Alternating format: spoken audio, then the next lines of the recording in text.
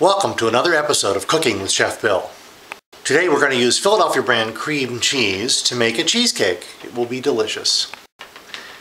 Honey Maid graham cracker crumbs make the best crust. And we'll use Breakstone sour cream, the real kind, not not the light, even though that's good. But we're making cheesecake. Come on, you can use real. You can use real sour cream and real cream cheese to make a cheesecake. It will be delicious. We'll have a cherry topping for this one. Do you understand the concept of a springform pan? This is a springform pan. We'll make the crust in here, we'll bake the cheesecake in here. When it's done, we flip this lever and the sides will come off and that'll make it easy to, to get to the cheesecake and serve it. I have the sugar, the breadcrumbs, and now I'm adding the butter. So I'll mix this, mix this well and then press it firmly into the bottom of the cake pan. The graham cracker crumbs are mixed and now I'm going to pour them into the, into the into the springform pan and from there press it firmly to make the crust on the bottom. This technique, using the back of your fingers, will flatten out the breadcrumbs and make them work really well. Try this at home.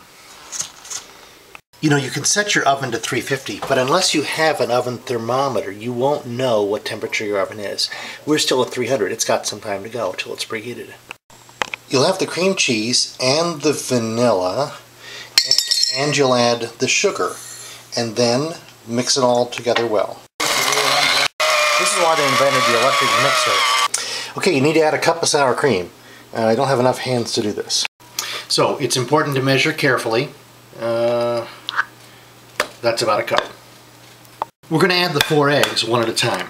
So you add an egg and then mix it in. It's not a good idea to lose track of how many eggs. That's two.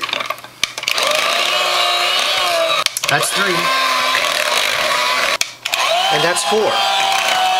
So mixing it all in, we mix it all up and then we'll put it in the, but we have to bake the, now the oven's ready, so now we can bake the crust for 10 minutes. So what you notice is the oven is 350 and the pan goes in and we set the timer for 10 minutes. If I knew how to do that, I would be fine, but I don't. So set the microwave to cook for 10 minutes.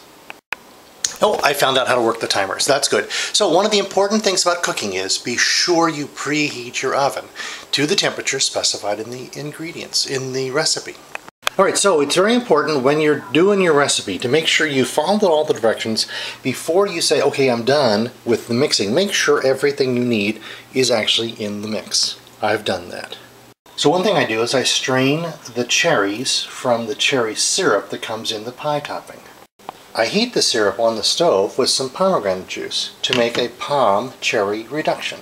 Okay, time is up for the uh, 10 minutes for the crust. Let's take it out. So now the crust is done and I think I can add the filling to it and then bake that. But just like car repair, it's often a good idea to check the directions to make sure that's what you're supposed to do next. Okay, so the next step is to pour in the topping over the crust, which is what I'm doing now.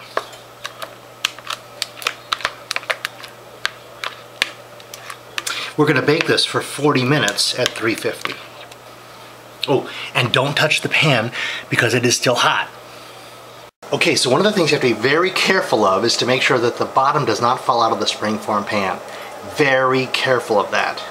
With a little bit of luck and some perseverance, you'll get the, the crust, the filling, and everything into the oven and bake for 40 minutes.